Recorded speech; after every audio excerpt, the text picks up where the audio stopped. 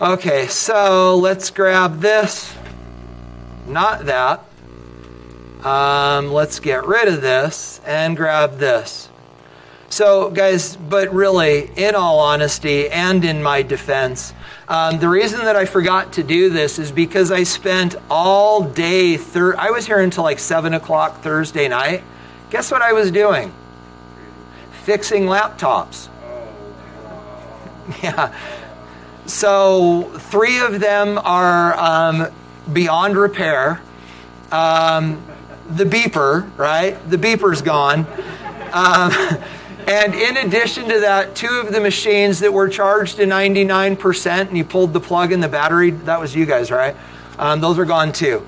But we now have 17 computers that work, and it only took me the entire night. So that's why I just bugged on Thursday, and I'm sorry. So, with that, yeah, right? So, guys, with that said, questions about the homework? You better have some because y'all came in here complaining that I didn't have the answers posted. Go ahead. Okay. Hold on, 23. Oh, there it is. Oh, good. Okay, yeah.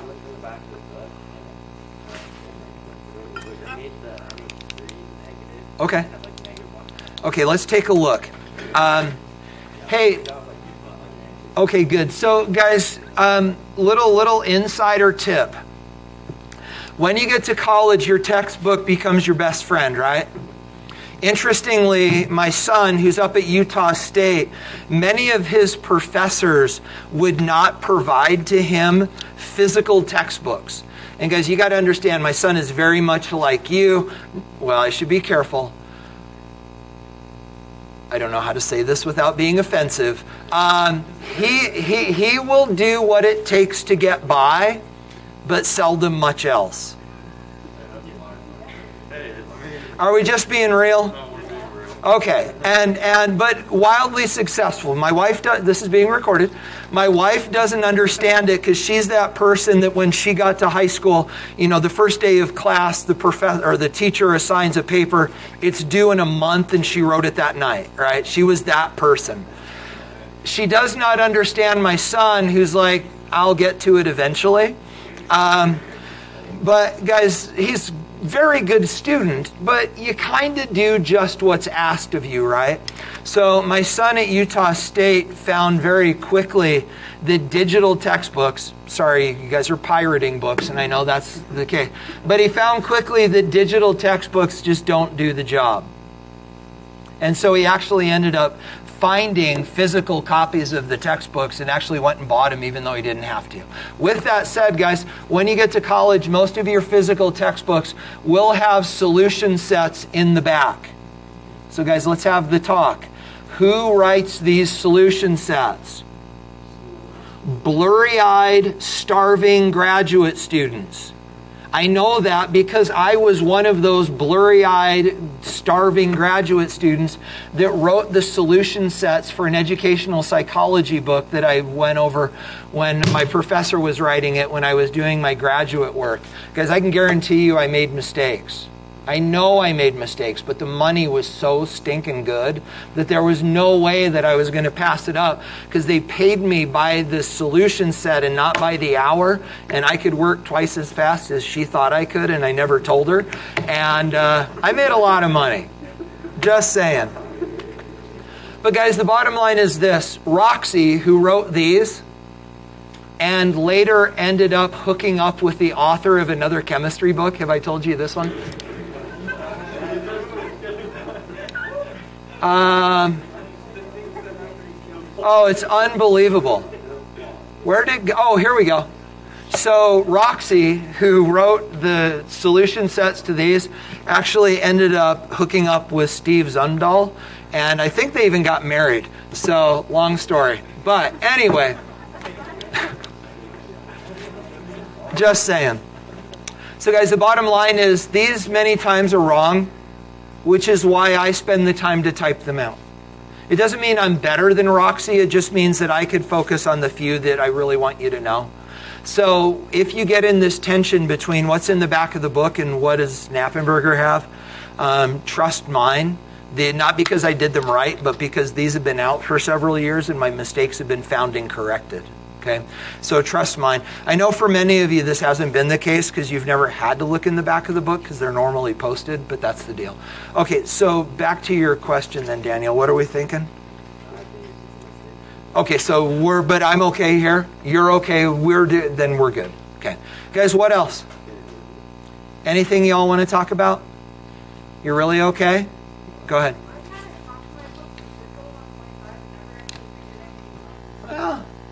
Sort of a picture for my life. 25 what? All of it?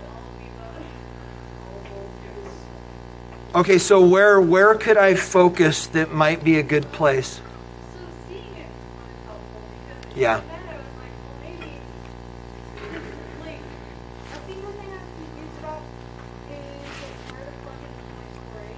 Right. Right. Mm-hmm.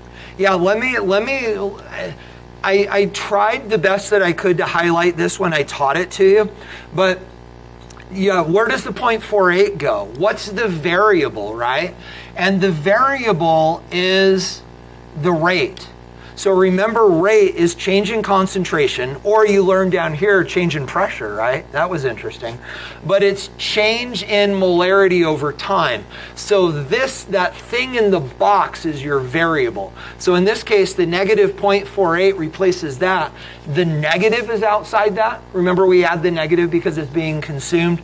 And then uh, the 2 is outside that because that's the coefficient. Is that okay? Does it look better now? Okay. What else, y'all? You sure?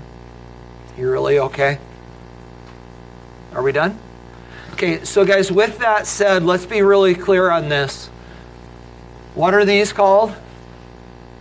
Rate expressions. Guess what you're going to learn to write today? Rate laws, right. So, guys, please do not lose sight of rate expressions um, because while they're not wildly important, they will show up on the test, so be careful. So, guys, with that said, I am going to freeze this and we are going to record scores.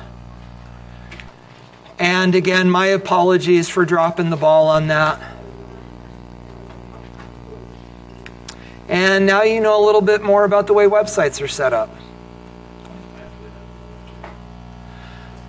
Okay, so we're here and add an assignment. And even though that's frozen, I still have to do this over here. Braden, were you good?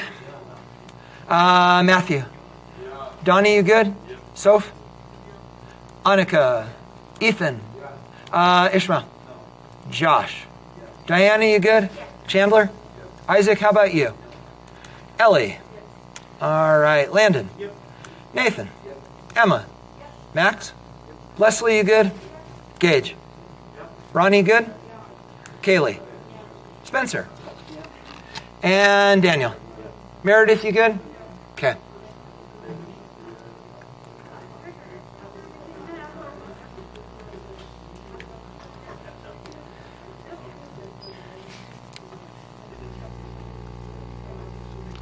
All right. So, guys, here we go. So, as you're getting settled, let me explain to you the way, well, actually, maybe even a bigger thought than that. I think we talked about this earlier, but let's do this again. Guys, was it really, really apparent that when we were going through the gases stuff that it's just dead to me? Like, I, teaching gases for me is like super duper painful. I don't find it interesting. I sorry, I shouldn't say this, but it's really true. I'm just like, okay, they're gases. They get bigger and smaller. I'm done with this. Let's move on. Um, but guys, we need to do it. Sometimes you just got to do stuff you don't want to. Guys, I love this stuff. The stuff that we're getting into now, the rest of this year to me is fascinating. Um, and it really starts here because we're going to start talking about reaction rates. And guys, one of the reasons that I love this so much is it allows us to really dig deep into some of the chemistry that's going on and talk about some really interesting things. So, guys, today what we're going to do is we're going to start into a conversation about what are called um, reaction orders and rate laws. But this is, well, it's interesting. It's interesting on its own, but it's really interesting where this is headed. Um, we're going to start talking about reaction mechanisms. And guys, you're going to see, we're going to understand rate laws. We're going to write a couple rate laws. And then I'm going to call time out and I'm going to be like, guys, stop taking notes. And I'm going to introduce the idea to you of reaction mechanisms. And many of you are going to be like, you know, I never thought about that and we're going to start talking about this idea of reaction mechanisms. And I'm going to throw out some terminology and we're going to talk about it a little bit. And then we're going to come back and really get into it on Thursday. But guys, I think that's one of the things I love about this is it's not just a thing unto itself. It's the beginning of a much bigger conversation. And I think you're going to like it too. So guys, let's get started. So this is review. I don't know that you need to write it down, but let me bring you back to this. So, guys, to this point, and I want you to really focus in on this, to this point, we have looked at data that represents the relationship between concentration and time. And, guys, I'd like to zoom into this, and I'd like to talk with you about all, oops, I'd like to talk with you about all the interesting things that we found in this data chart. Remember, we talked about the idea it was methyl chloride um, reacting with water. It formed, uh, I'm sorry, butyl chloride reacting with water, and it formed butyl alcohol and hydrochloric acid. So, guys, dig back in. Braden, join us. Dig back in. So, what did we discover? What did we learn? What did we talk about relative to reaction rates that we see summarized in this table? Go ahead, Ronnie. Okay, and guys, let me just ask you right now is it okay if I talk about calculus? Is it, but please understand if you're going, no, it's not okay, but I don't really feel like I can say that. You guys understand there's no calc in this class, right? The only reason that I bring it up is because some of you have done or are doing calculus.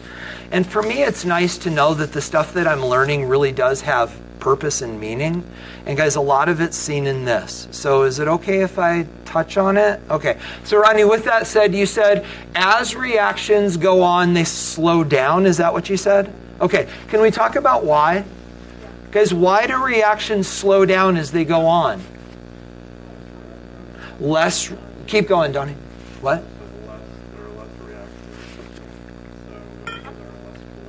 Beautiful. Okay, I'm, I'm going to ask you to do something a little different though. So, Donnie said there are less reactants and therefore less collisions. And it is about collisions, right? We understand that collisions are the thing that make reactions go. But when we say less, remember we don't mean less simply by amount, we mean less concentrated. And guys, that's the critical issue. Yes, there is less. They're being consumed, but ultimately that creates a decrease in concentration. Simply less doesn't mean the reaction will slow down because we could have less reactant and we could squeeze it and the rate could stay the same. See what I'm saying? So it's less concentrated, which means we're assuming the volume's not changing.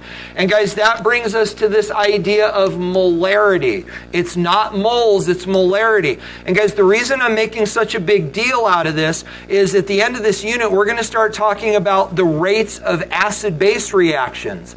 And it's going to be all about molarity until we get into the next unit. And then it's going to be about moles, and the whole thing blows up.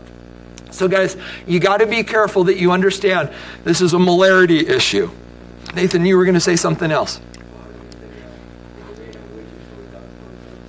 Absolutely. And now we're talking second derivative, right? So the rate at which it is slowing down slows down, which probably makes sense because the reaction is slowing down. Therefore, the reactants are being consumed less rapidly. Therefore, the rate at which it's slowing down is slowing down. First and second derivative if you go there. But that's a great point. Guys, what else? Other things that we talked about. We okay? Yeah. Good. They never fully go to completion. Guys, it's sort of a trivial thought, but understand that's true. They don't actually go to completion. You okay? Yeah.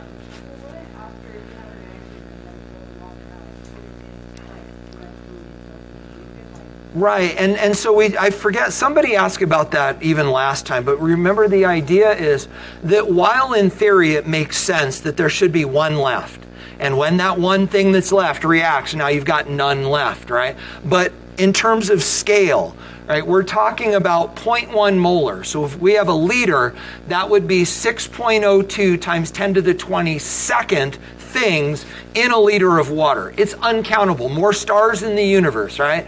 And because in reality we're talking about such large samples, the idea is that it never practically gets there. It is an asymptote. We never, reactions don't actually stop. We call them stopped, but they don't actually stop.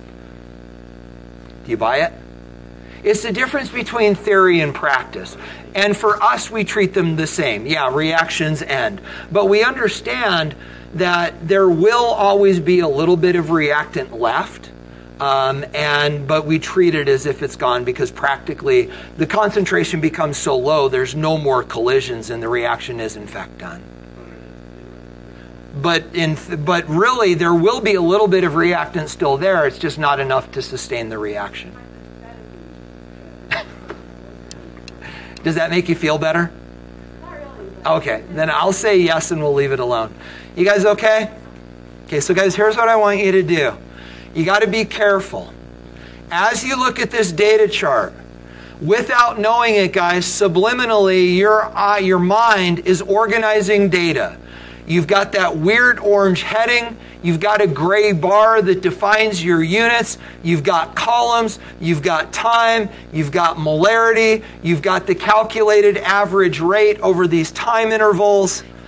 But, guys, I bring this up because I'm about to show you another set of data. And it looks the same, but it's radically different. Don't get lulled into thinking it's the same. So, guys, the deal is this while this gives us a picture of how reactions behave over time, that is not the way that we as chemists think or talk about reaction rates. We do it differently.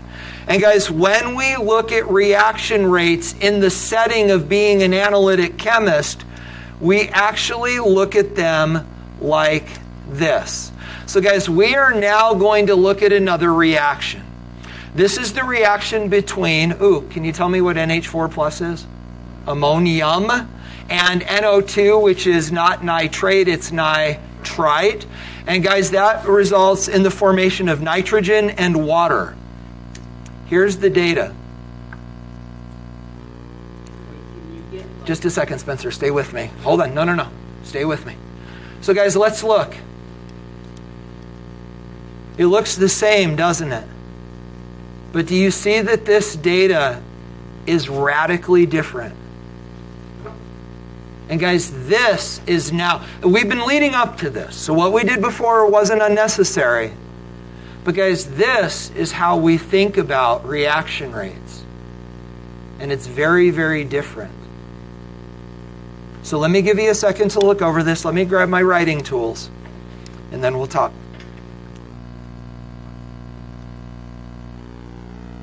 So, guys, talk with me about the differences that you see. How is this data, and let's just babble and then we'll bring it together. How is this data different? Go ahead, Chandler.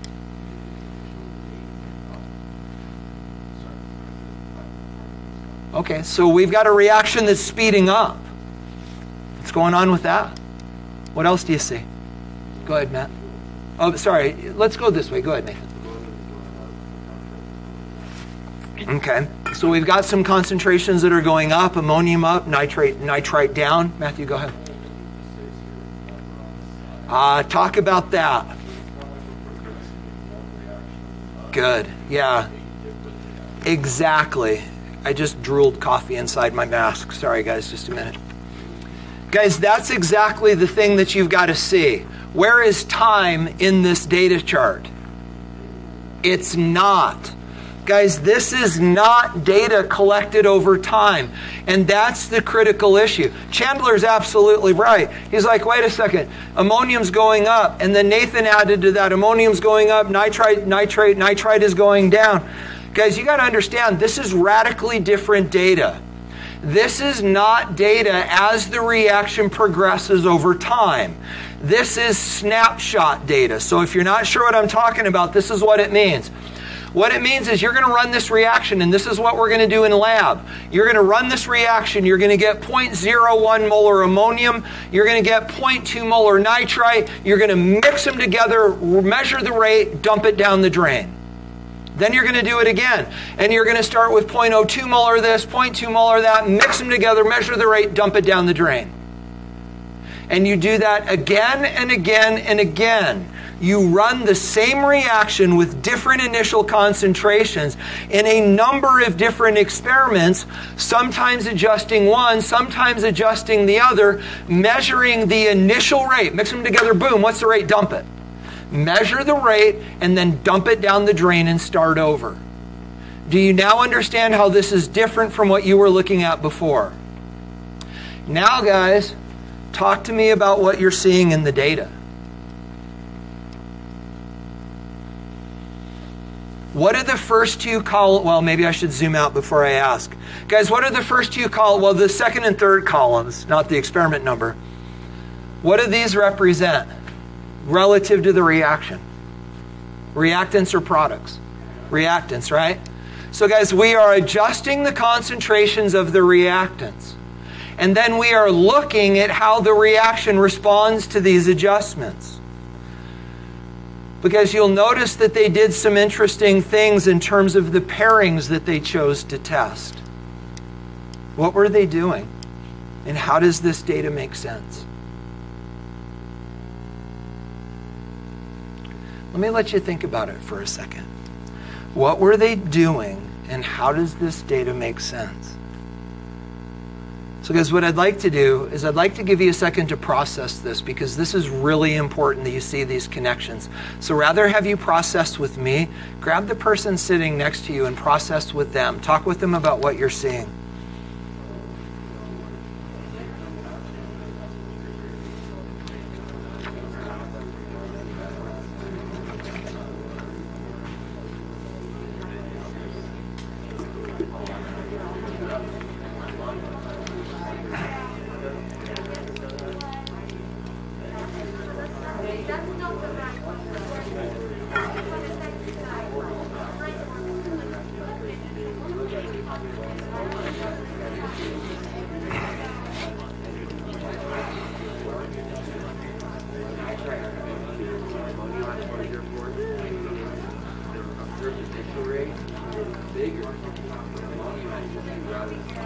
Okay, guys, you got about 20 more seconds.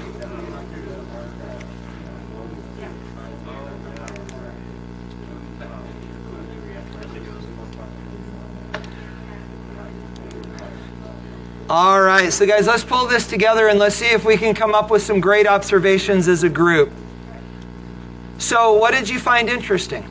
Matthew, you were going to say something earlier, and I sort of sent us in a different direction.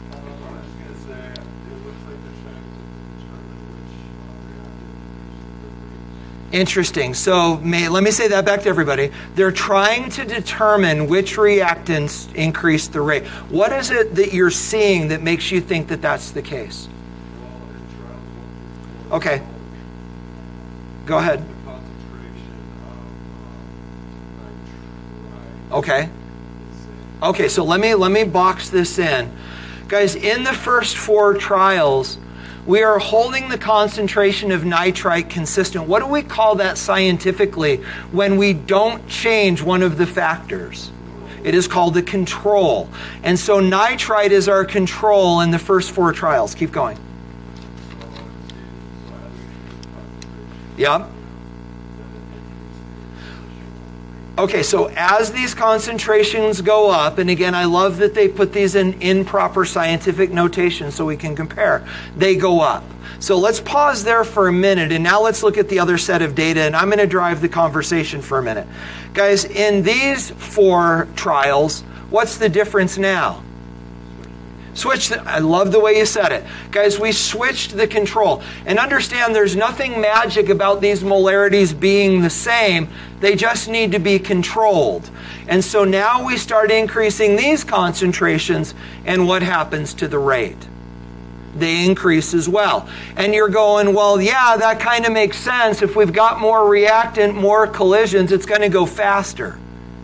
Guys, you're going to find that's not the case there are reactions where you can increase the concentration of a reactant and it doesn't go faster at all. There are even reactions where you can increase the concentration and the reaction slows down. So now we need to talk. So, guys, the idea then becomes this it's not enough for us to just identify one goes up and the other goes up. What we need to do is we need to figure out proportional ratios. And Because let's talk about this really quick. Some of you are going to want to do this mathematically, and that's fine. Some of you are going to want to do this conceptually, and that works too. You're I prefer to do this conceptually. If you want to do it mathematically, that's okay too. But guys, let's look. In the first four trials, this is our control. Let's compare trial one to trial two. What did we do to the concentration of ammonium between trial two and trial one? Doubled it. It's not went up by 0.01, it doubled. And guys, when we doubled the concentration, what happened to the rate? It doubled. What about this? Trials two and three, what happened to the concentration? And the rate also doubled. Guys, what about trial one to four? One to four, what happened to the concentration? Quadrupled. What happened to the rate? Quadrupled. What if we were to go trial one to four? How many times did the concentration go up? Factor of six. And the rate went up by a factor of six. So, guys, what that means is any change that we make to concentration, we see a proportional change to rate. And, guys, again, you're looking at this going, yeah, that makes sense. But, guys, understand it's seldom that simple. Again, you're going to find examples of times where you double the concentration and the rate goes up by a factor of four, or eight, or 16. We'll talk more about that later. But guys, understand it's not always this simple. So now let's go down here. Now this is our control. Guys, given what we just talked about, you find the relationships for nitrite. How does changing the concentration of nitrite affect the rate?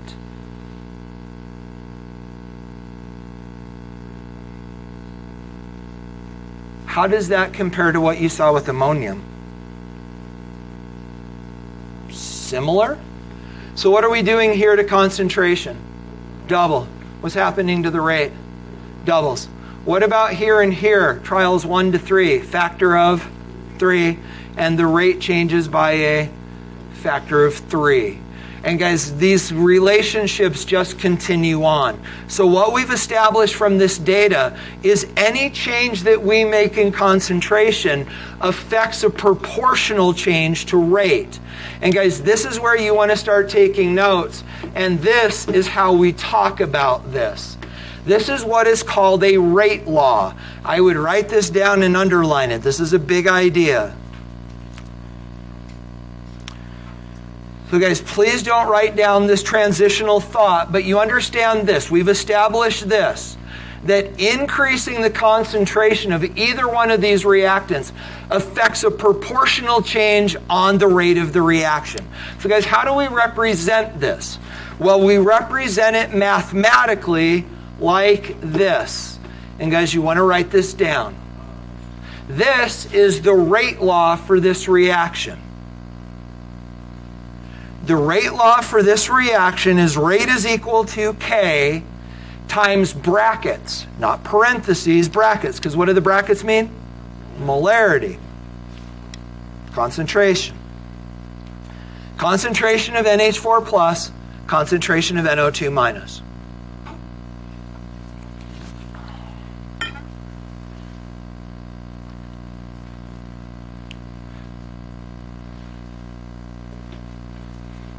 So, guys, this thing that you just wrote down is what is called a rate law. A rate law is a mathematical expression. Rate laws represent the relationship between concentration and rate for a chemical reaction.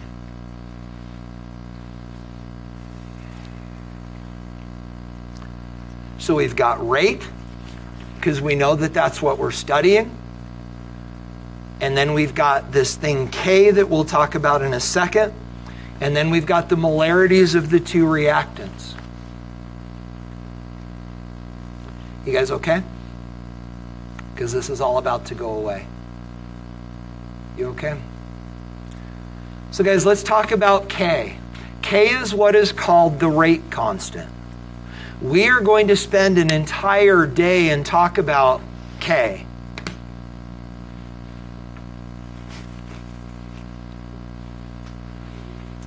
But, guys, before we do that, we need to have this conversation about K. You guys all caught up with me? You good? Because, again, this is going away. Okay, so, guys, this then becomes the conversation we need to have we are going to solve for K. This is the data from which we wrote the rate law. And guys, from this, we're going to calculate K. You'll notice that we have eight trials. So here's what we're going to do. Nathan's row is going to process trial one. You guys are going to process two, three, four, five, and six. Guys, please figure out the value for K for your trial. I will do trial seven as my example. And guys, I'm just going to tell you right now if you're typical, nobody in this room will get this right.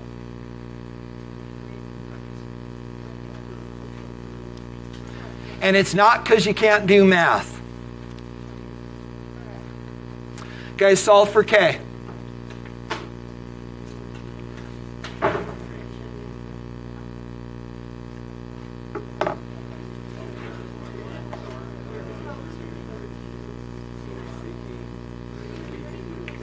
Now you're nervous.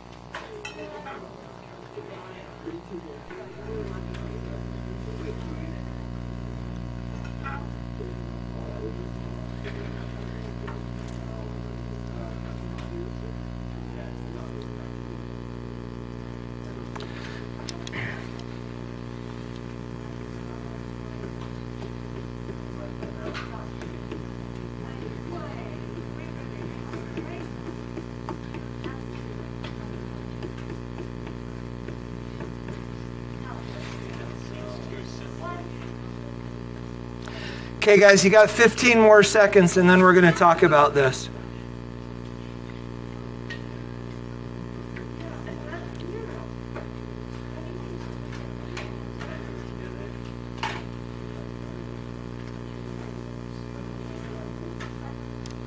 Ethan, what'd you come up with?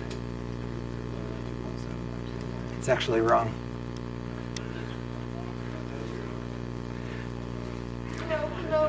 Okay, guys, my turn. Let's gather together and I'll just arbitrarily choose to process number seven. So the first thing that I need is the rate. And the rate in number seven is 32.4 times 10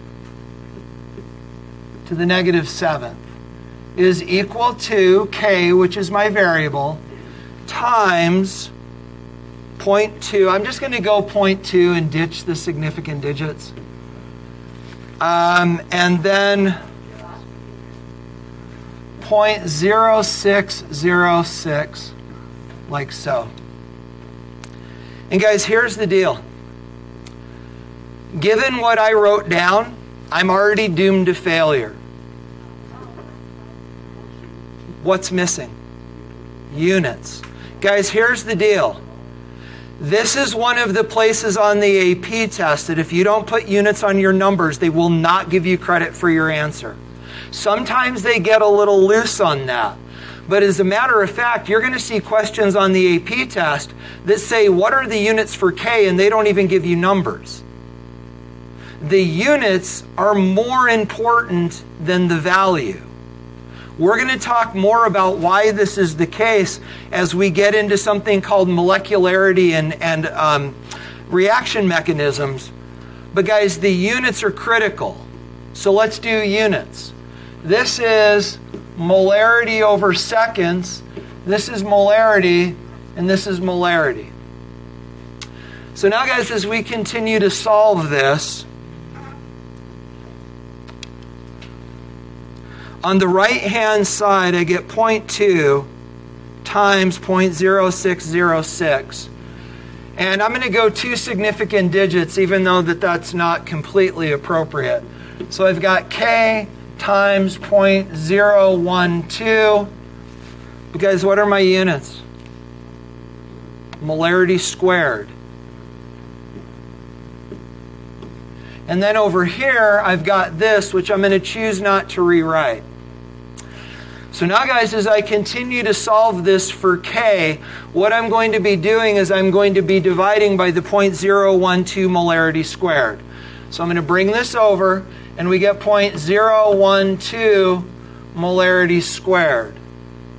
So then, guys, we need to do some canceling, right? So when we cancel, this molarity cancels with that molarity. And then, guys, what happens to that molarity in the denominator?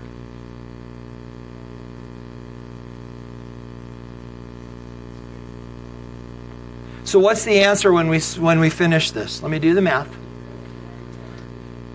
Say it again. 1 over molarity times second. So it goes 32.4 times, holy smokes, times 10 to the negative 7th divided by 0.012. And the answer that I get is 2.7, uh, I'll go 0, times 10 to the negative 4th. But now, guys, we got to figure out these units. What happens with the molarity in the seconds? They're both in the numerator, the denominator, so it's inverse molarity, inverse seconds. And guys, this communicates information. We're going to talk more about what that information is later. But guys, understand you've got to keep track of units when you're solving for this. Now, here's the thing that's interesting. Let's talk about the number. Did you all get 2.7 times 10 to the negative fourth? Guys, this is a constant. It does not matter um, which trial we look at. It is really a constant. Does it change? Yeah, we'll talk more about that later. But, guys, for any particular set of instances, this is a constant and it remains constant. By the way, what changes the value of K? You ready? Temperature, surface area, and catalyst. Huh? See how those all fit together? We'll talk later. But guys, are you okay with the math? Does this is this good? You're all right? Okay. So guys, there you have it. That's the idea about reaction rates in solving for K.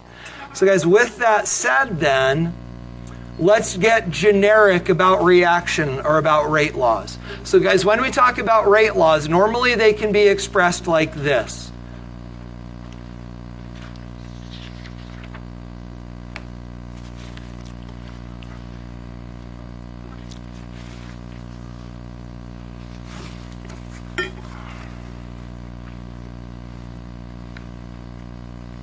But, guys, you'll notice that in the generic form of a rate law, we pick up something that wasn't there before. What's new? The exponents. So, guys, these exponents, m and n, are what are called reaction orders.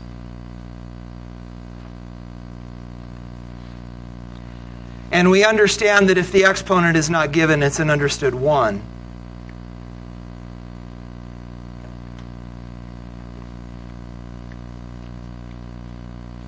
But these are what are called reaction orders.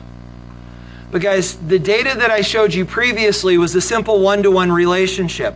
If, the, if we double the concentration, we double the rate, triple the concentration, triple the rate. Because understand that is not always the case. But what this does do is represent the relationship between concentration and rate, change in concentration and change in rate. And guys, it goes like this. I think you can get this without writing it down, so check it out. We have what are called zero order reactants. If you have a zero order reactant and if you double the concentration of that reactant, the rate does not change. That reactant has no effect on rate. Then, guys, we've got what are called first order reactants. In a first order reactant, if we double the concentration, we double the rate.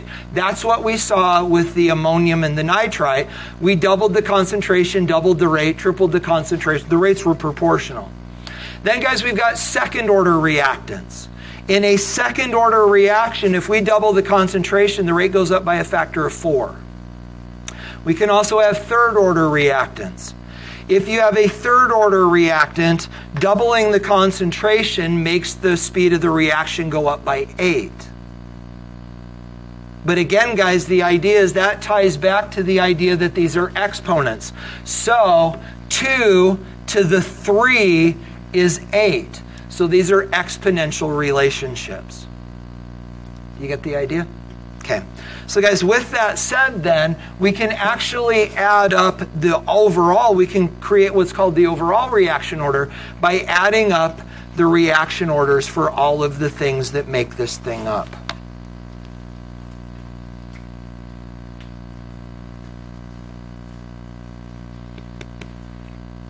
You guys okay?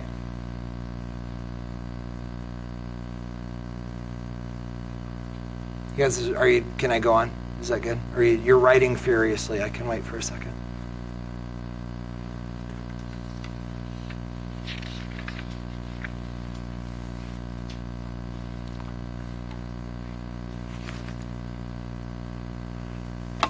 You guys good? Okay, so here's what we're going to do then, guys. Let me share with you this. So, this is a fictitious reaction where we have reactant A reacting with reactant B. We don't even need to know the products, but we're given this data. Guys, write the, rea- write the rate law for the reaction and then solve for K. Write the rate law for the reaction and then solve for the value of K.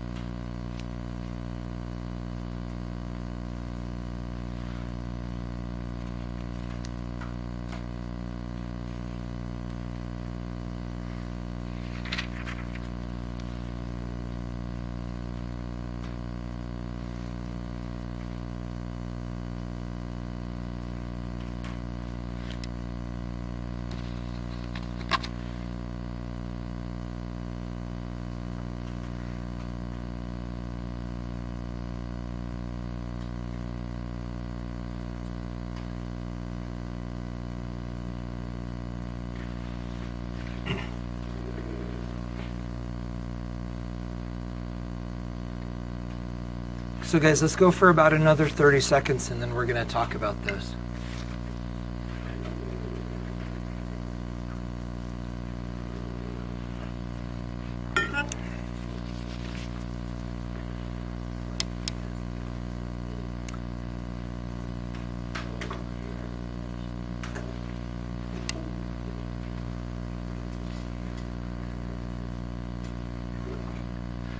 Guys okay? Okay, so guys, let's tear into this and let's talk about how this comes together. But guys, also importantly, we need to talk about how we're going to talk about this. You can't just write the rate law without explaining how it is you came to these conclusions. So, guys, first of all, let's tear apart the data and let's establish some baseline understandings. And then we'll talk about how to talk about it. So, guys, what we're looking for first is controls. And obviously, here we are controlling the concentration of A.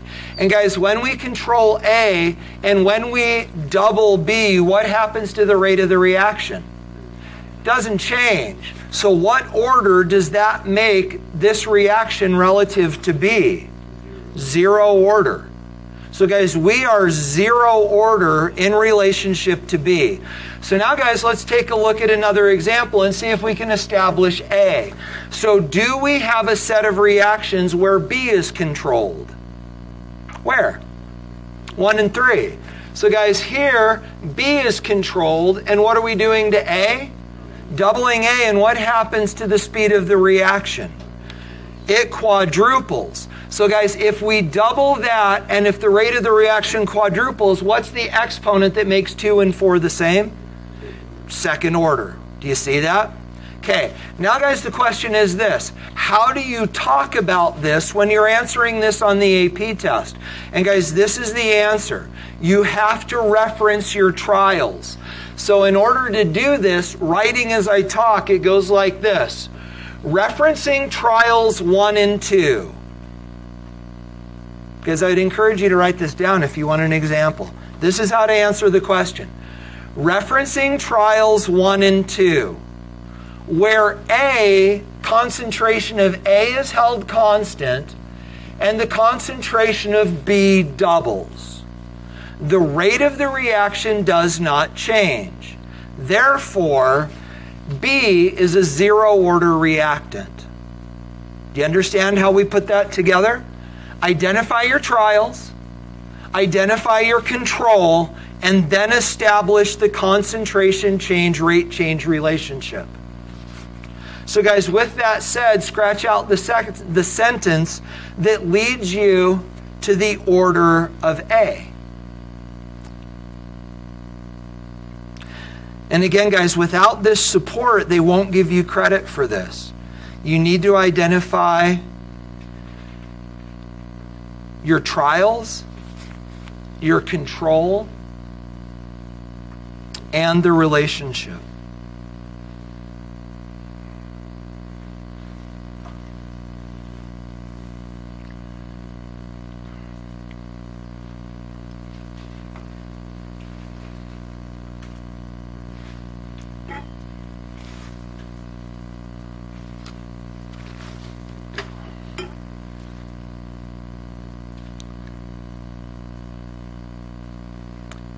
You guys okay? Matthew, go ahead.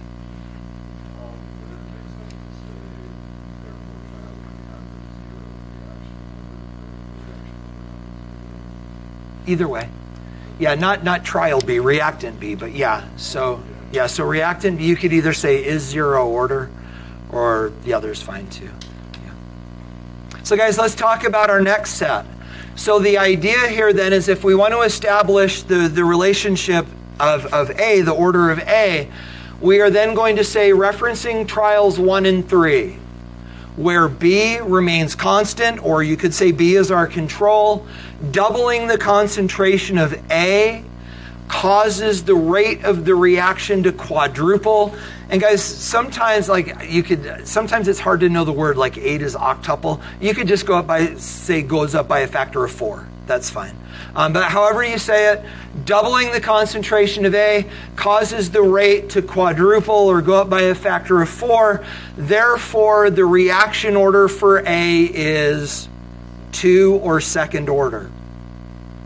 Now, guys, understand that all of that was simply the logical underpinnings that allows you to then write the rate law.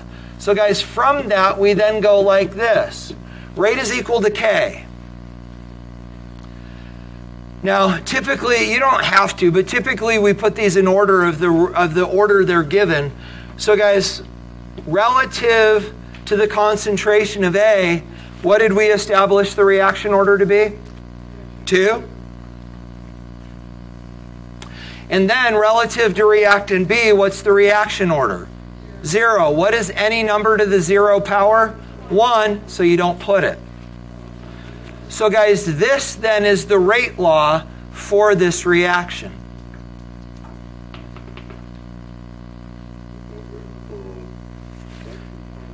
You okay? Okay, now this. Without doing the math, what are the units for K?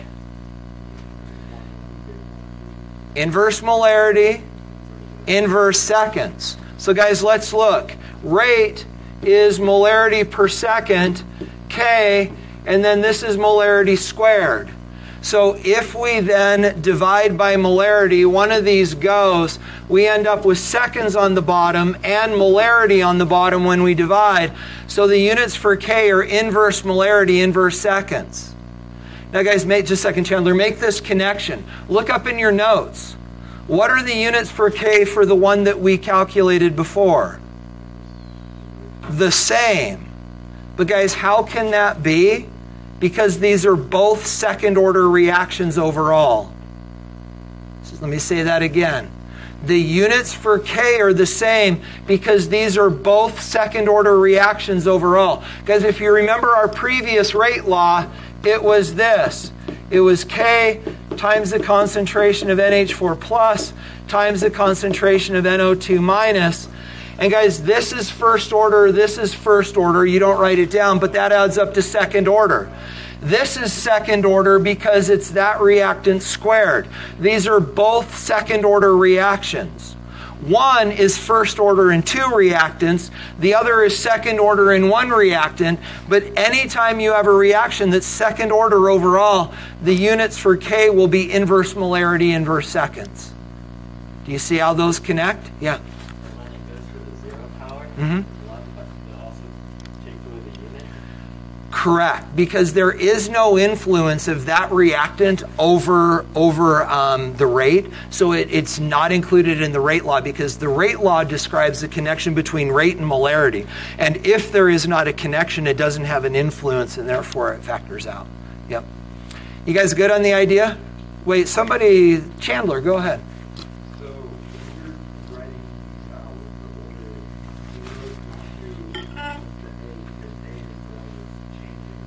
A is the one, let me, let me say it. So changing A is the one that changes rate.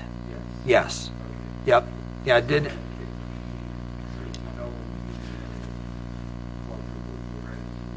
Correct. So if that were the case, say like for example, uh, if this this is going to screw up everything, but pretend say that this was an eight and that doubled, then that would make B a first order reactant, so it would be there. Yeah. Is that okay? Go ahead. Yes.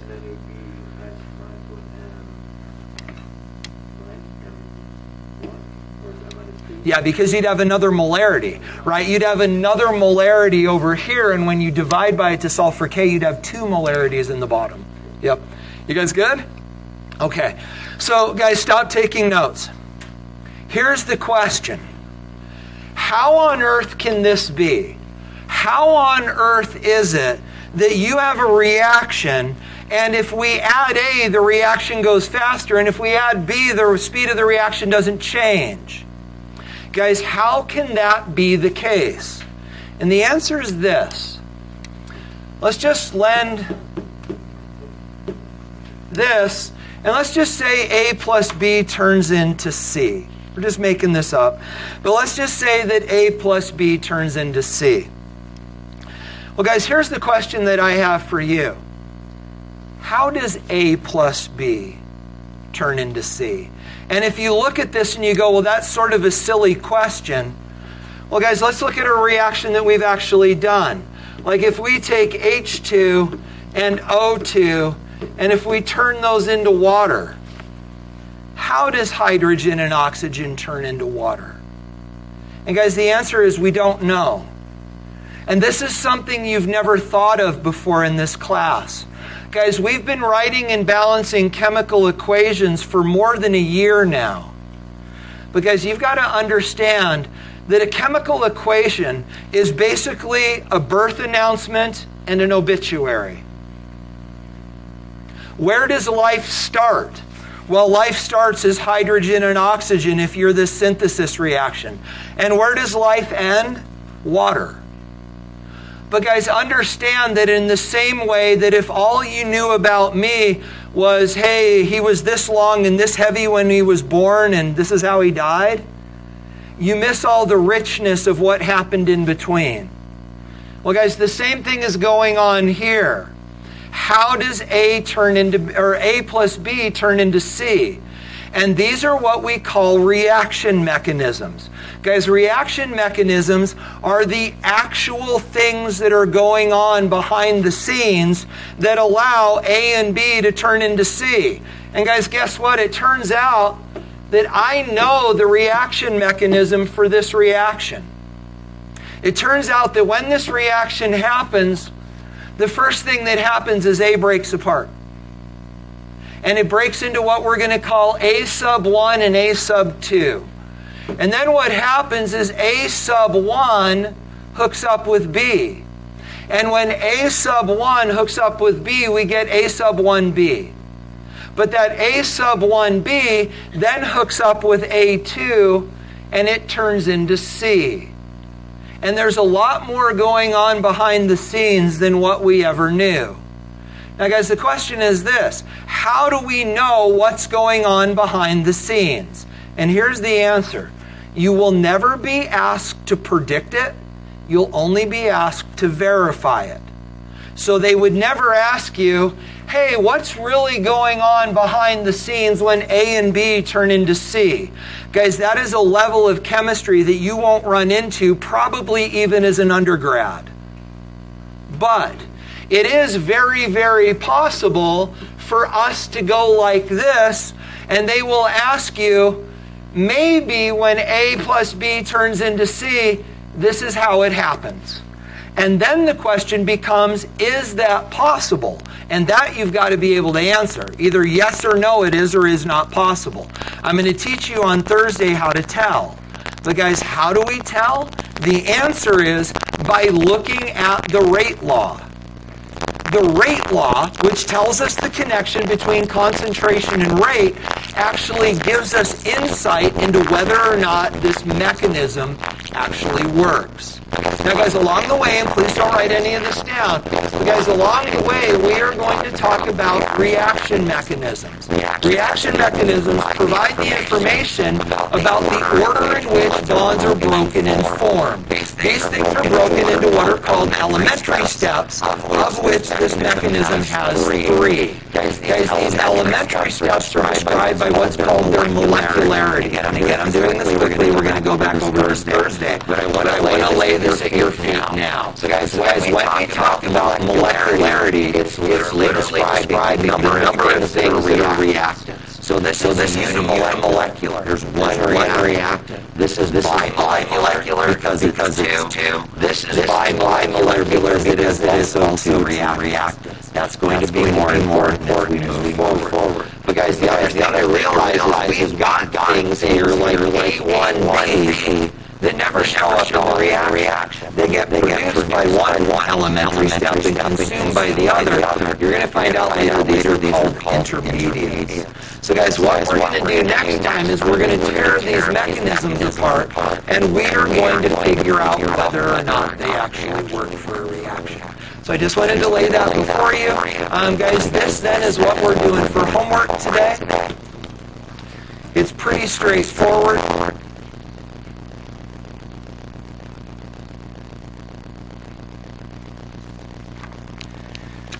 And guys, we will do this on, we'll look over this on Thursday, and then from there we'll start talking about verifying reaction mechanisms.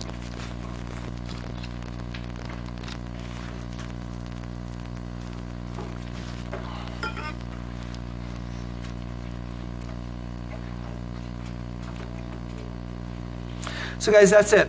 Um, let's start on our homework. We got about five minutes left. We will break at 10 after, and then we'll be back to begin third period, and we'll move on from there.